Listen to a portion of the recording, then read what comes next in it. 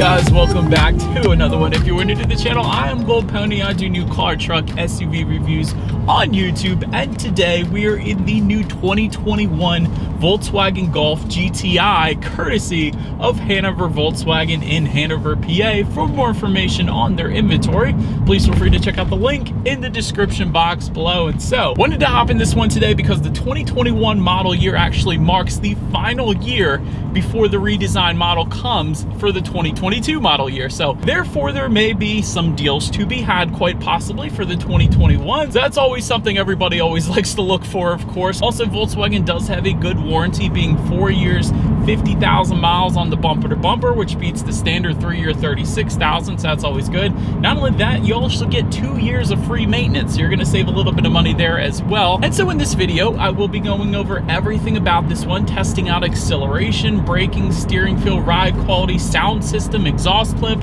all of that. So what do you guys say? Let's just go ahead and jump right into it. And as always, let's start with pricing. And so there will be a few different trim levels for the 2021 Volkswagen Golf GTI. First one being the S, starting at $28,695. SE for $32,665. And lastly, the Autobahn, which actually is the one we have today, starting at $36,945. And so, regardless of trim level that you go with, the power plant on this one is going to be the same. Powering this little beast is going to be a 2-liter turbocharged inline 4-cylinder engine, putting out 228 horsepower at 5,000 RPM, 258 pound-feet of torque, available at around 1,500 RPM power sent to the front wheels through two excellent transmission options. I could already tell you from having test driven both of them in the past, six speed manual or seven speed DSG with paddle shifters, which actually is the one we have today. And I'm gonna test out these paddle shifters once again, just to make sure they still react quickly for us here. But all in all, 0 to 60 time comes in at approximately 6 seconds flat, with MPG numbers coming in at 25 in the city, 33 on the highway, and this one actually can take regular or premium unleaded fuel. Obviously, premium is going to give you the better horsepower and torque numbers. If you put regular unleaded fuel in this thing, you are going to see a slight decrease in those numbers. And so, but now before we do any kind of paddle shifter test or acceleration test in this one, did want to mention there are, of course, some drive modes. And so the drive mode button is located just to the left of the shifter that will include Eco, Comfort, Normal, Sport, and Custom, adjusting things like the throttle response and the shift points and the steering sensitivity actually as well. So having now said all of that, since we're coming up to a stop sign, let me go ahead and put it in sport driving mode here and Let's find a straightaway and let's test out the paddle shifters here first. Just wanna make sure they still react as quickly as they used to when I test driven this thing in the past. So before I do this, I did wanna mention if you put the shifter all the way to the back to the right, that is going to be your full manual shift mode. It's actually going to tell you what gear you're in up on the digital portion of the gauges as well. And so now, I think we found our straightaway here. Let's go ahead and put these paddle shifters to the test and see how quickly they react for us here. Instant. Instantaneous. Volkswagen, Audi, Porsche, they always get it right when it comes to paddle shifters, I swear. I've test driven all of those and these are no different. I feel like these paddle shifters are just as quick as maybe an Audi S4 and Audi S3. So absolutely insane paddle shifter reaction times. I absolutely love it. When you got paddle shifters, you might as well have them work well, and they definitely work very well here in the Golf GTI, so I am not surprised, and I absolutely love it. But let's now go ahead and give back full control to the Golf. I'm just gonna slide the shifter to the left here, and once again, let's find a straightaway, and let's see how quickly this thing can get us up to speed. All right, we got nobody else around us. Three, two, one. No torque steer. Oh, there it is. Oh my gosh. Yeah, baby. this thing is fun. 0 to 60 in 6 seconds feels wonderful in the Golf GTI, I will say that. And again, there was no torque steer. A lot of times when you put a decent amount of power just to the front wheels without it being all-wheel drive, you kind of slide off the road when you really hit it and there's slippage and it sucks. But with this thing, there was no slippage and there was no torque steer. That was a wonderful acceleration. Very well done, Volkswagen, with the Golf GTI paired up with the DSG that we have here today. So I'm still loving it. But anyways, to go along with that acceleration, as always, braking is equally important. And so up front, you will find 13.4 inch ventilated front discs. In the back, 12.2 inch ventilated rear discs. As far as that 60 to 0 stopping distance goes, comes in at 124 feet, which quite honestly isn't quite as good as the competition. For example, the Veloster N comes in at 111, Civic Type R, not that you're really comparing this to the Type R, you're comparing the Golf R, but anyway, Civic Type R comes in at 99 feet even, which is absolutely insane, quite honestly, but still, having said that, the braking feel is perfectly fine. There's no brake pedal delay or anything like that, but still, it's not quite as good as some of the competition. That's all I'm saying. But anyways, then touching on suspension and handling. Up front, you're gonna get a MacPherson strut front suspension. In the back, independent multi-link rear suspension, front and rear stabilizer bars. And if you were to go with the Autobahn that we have today, you're also going to get an adaptive damping suspension, which quite honestly isn't doing a whole lot, I gotta be honest. So in this car, I will say, when it comes to ride quality, it's pretty much as expected, which essentially means you're gonna feel a good bit of the road in this thing because of the type of setup it has, because of the larger wheels and the small vehicle, you definitely feel a good bit of the road. And we have some punishing roads here, I will say that, in Pennsylvania, so that is maybe the one trade-off, but if you don't mind it, like, I don't really mind it. I had 20-inch wheels on my Mustang that was lowered, and I was perfectly fine with that if you're that type of person, you're not gonna mind it. So I just wanna say that. But as far as steering feel goes, it is great. Definitely has a heavier weight when you put it in that sport driving mode, which I've left it in because I do like that heavier weight to the steering. So we'll say that. So steering feel is definitely perfectly fine in the Golf GTI. So no issues there. As far as cabin noise goes, again, it's pretty much as expected, meaning you can hear a decent amount of road noise coming into the cabin. So not luxury vehicle. It's not like we're driving the Arteon or anything like that. So it's as expected. You can hear a decent amount. Not too bad on the wind noise though. I will say that. I've heard worse there. But anyways, touch on visibility. That is absolutely excellent. I can see perfectly fine out the back and that's pretty much as expected. We do have a smaller car here. Also wanted to mention though, rain sensing windshield wipers do come standard on every single trim level across the board. Still, to this day, not every manufacturer is doing that, so I absolutely love that it comes standard on the Golf GTI, so another big plus there, and that is about it for the performance section of this review, you guys. Let's now go ahead and go back to the dealership and let's check out the exterior of our brand new 2021 Volkswagen Golf GTI. All right, you guys, here she is, the new 2021 Volkswagen Golf GTI in this beautiful snowy day here with an iced over lake in Pennsylvania. And so let's go ahead and start up front of the GTI here first. First thing that pops out to me, as it does every year, is the GTI emblem with the red line just underneath of it found on that upper portion of the front grille. As far as the lighting goes, halogen headlights actually come standard on the S trim level. They do come with the automatic feature, meaning when it starts to get dark out at night, those headlights will turn on automatically for you there. Fog lights also coming standard with LED daytime running lights then as well. Then if you were to go with the SE or Autobahn trim that we have today, you will find LED headlights actually with active bending as well. That's kind of impressive. That means when you're going around a bend at night, those headlights are going to swivel dependent upon the angle of your steering, better help illuminating what is around the bend so you're less likely to hit a deer or a possum or really anything else. So that's a big win right there. Fog lights with low speed corner illuminating feature also coming with those two trim levels as well, being the SE and Autobahn. That's pretty cool. And you will find front air curtains down at the bottom portions of that front bumper there as well, helping direct air around the wheel and tire combination. So that's always nice for aerodynamics as well. But now, let's go ahead and make our way to the side of this one. So now since we are around to the side, black window surrounds do come standard. When it comes to the side mirrors, they are power adjustable gloss black side mirrors. They actually do come heated. That comes standard for all trims as well with LED integrated turn signals as well. You guys can probably see on those front fenders there, there is some GTI badging to go along with the GTI badging in the front. That's pretty cool.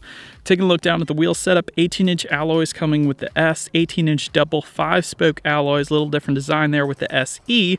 And then if you were to go with the Autobahn, you do have 18-inch multi-spoke alloys with summer tires, by the way, is the standard configuration at least. So wanted to mention that. But that about rounds out the side. Let's now go ahead and make our way to the back of this one. So now since we are around back, starting up top, you guys can see that shark fin antenna, body colored of course. Just below that, rear spoiler with an integrated brake light. Just below that, rear window wiper as well. LED taillights actually come standard across the board for every single trim level. That's a big win right there. Also, you got some GTI badging once again, found on the hatch itself, as expected there, I suppose. And just below it all, dual exhaust outlets with chrome tips. And they're pretty large dual exhaust outlets at that, so that's pretty cool. But either way, you guys know what we have to do next. As always, here is that exhaust clip.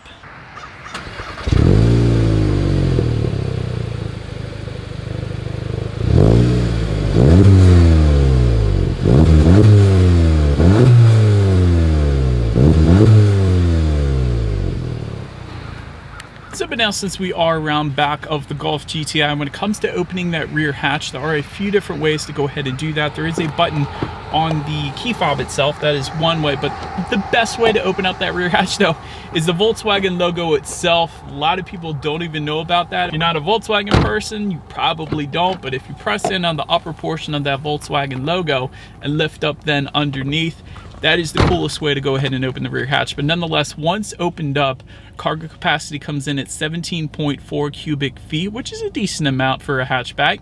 If that wasn't enough space, though, there is a 60-40 split, meaning the rear seats do fold down for quite a bit of extra space then if you needed it. Then make our way to the rear legroom. That comes in at 35.6 inches. So for reference, I am an even six feet tall. This is how much space I had sitting behind my own driving position. So for anybody who wants a little reference there. So not as much as a Passat, of course, but certainly not bad for what this car is. Front seat mat pockets also coming standard back there. Rear center armrest with cup holders as well. And you can actually find rear ventilation back there, which is pretty cool as well. And make our way to the front seats, six-way power adjustable front seats coming with the S and SE. Heated front seats actually coming standard on every single trim level. That is pretty cool. And there's heated seat buttons located just above the climate control options there in case anybody was curious where they are at. Clark plaid cloth seating coming with the S. That is probably the best seating setup, quite honestly, in my personal opinion. They look so cool. Autobahn actually adds to that 12-way power adjustable driver's seat, which I gotta say, is extremely comfy. You do have lumbar adjustments along with that as well. So really it's impossible not to find your perfect driving position in this. Not to mention the bolstering on these seats are ridiculous. I absolutely love it. It holds you in place so freakishly well when you're going around the turns a little bit faster. So I love that.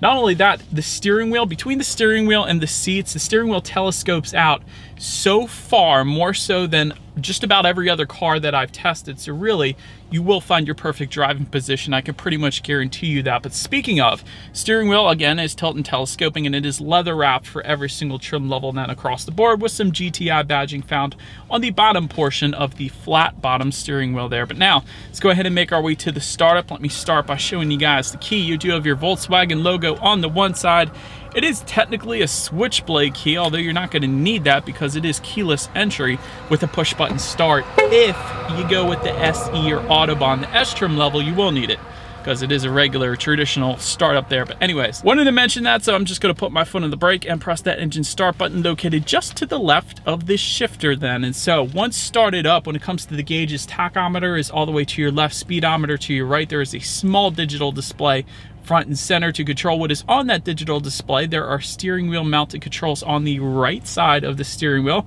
giving you things like how many miles you have left until you hit empty. There's your outside temperature. Trip A, Trip B, of course, Bluetooth information when you need your next oil change. There's actually a lap timer up there, of course, since we're in a Golf GTI. That's pretty cool. And you can check out your driving statistics or some navigation information. The list goes on. So really quite a bit you could check out up there if you wanted to. But now Let's go ahead and make our way to overall interior quality. First thing I want to mention, there's a panoramic sunroof that comes with the SE and Autobahn, not the S. So wanted to mention that to you guys.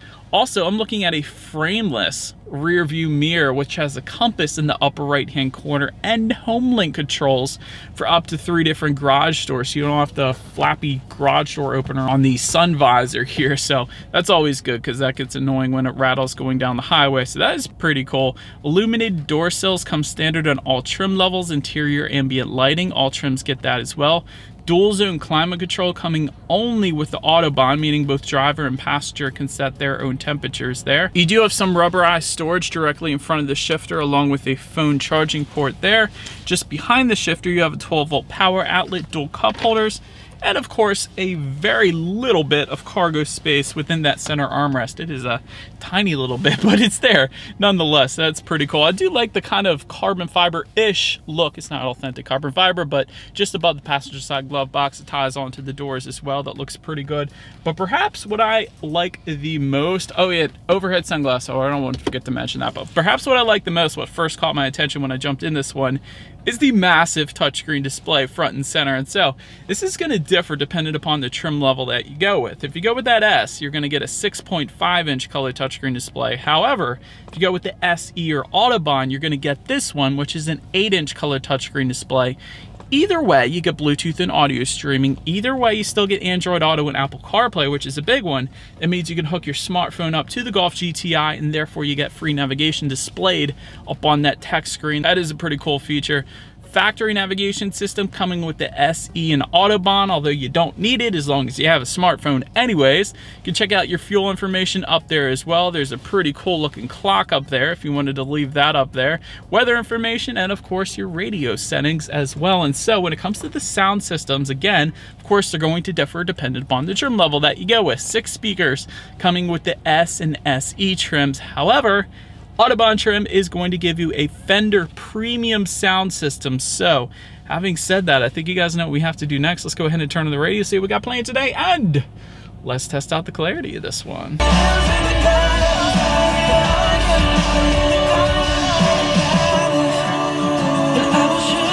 Little bit of Tauren Wells for you guys. Comment below if you like Christian rock. But anyways, that is a wonderful song. Ton of bass with that sound system. Definitely plenty of clarity. And I do own a Fender guitar and I absolutely love it. And this Fender sound system is just as good. So well done Volkswagen for putting that sound system in there. But last thing I wanted to mention to you guys on that tech display at least is when you do put the Golf GTI in reverse, you will find a rear view camera coming standard across the board for every single trim level, letting you know who or what is behind you, which is always is going to lead us into safety. And so, first thing I wanted to mention, IIHS top safety pick if you were to go with the SE or Autobahn, that's because of the LED headlights. But front side side curtain airbags do come standard. In the back, you're going to have latch, aka lower anchors and tethers to children for the rear car seats.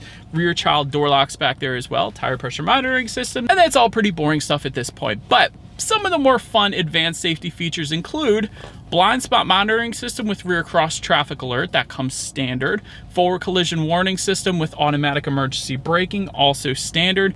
Pedestrian monitoring system, also standard as well. And then if you were to go up to the Autobahn trim level that we have today, you were going to get, in addition to that, an adaptive cruise control system, lane keep assist, an active blind spot monitoring system, and parking sensors then as well. And so, when it comes to my final thoughts, I think what makes this one truly a nice pick is the driving dynamics. Not because it's the very quickest thing in the world, although 0 to 60 in 6 seconds flat is quite good, but it's everything else that comes with it. It's the transmission options. So both the 6-speed manual and the 7-speed dual clutch are excellent. The paddle shifters are insanely quick when it's paired up with the 7-speed dual clutch. Not only that, the 6-speed manual is a blast to drive as well, not to mention you get the golf ball shifter since we're in the golf then, if you were to go with that 6-speed. So I've driven that and that's amazing as well. Clark plaid seats are awesome, although we don't have them today, but I will say that's an awesome setup for this thing. Two years free maintenance, also a huge plus as well. As far as room for improvement goes, I would have liked to have seen a full digital gauge cluster, at least on the Autobahn trim level of this one, just because Volkswagen is doing it on so many of the other vehicles right now. The Autobahn is kind of closing in on 40 grand, so you would think if the Arteon can do it, if the Tiguan can do it, they could probably put it in at least on the Autobahn trim level there. But somewhat harsh ride as well, and I mentioned that to you guys. So that's kind of the trade-off for this type of vehicle in general, so it didn't surprise me there. But braking could also be a little bit better, at least compared to the competition. Not that the braking's bad, it's just not as sporty as some of the competition. That's all I'm saying. But overall, an extremely fun car to drive. I honestly had a blast driving. It's been a while since I've been in one of these and it just reminded me how much fun these cars truly are. So anyways, let me know what you guys think of the Golf GTI in the comments section below and if you're going to wait for the 2022 or if you're possibly going to try to get a deal on the 2021. But feel free to follow me on TikTok at the bottom of the screen there if you like. If you want to see what's coming next on the channel before it hits YouTube, be sure to hit the subscribe and the bell notification button. If you're into new car reviews, that is what we do here on this channel after all. Do appreciate you guys watching more than you know, and I will see you guys all in the next video. Stay go.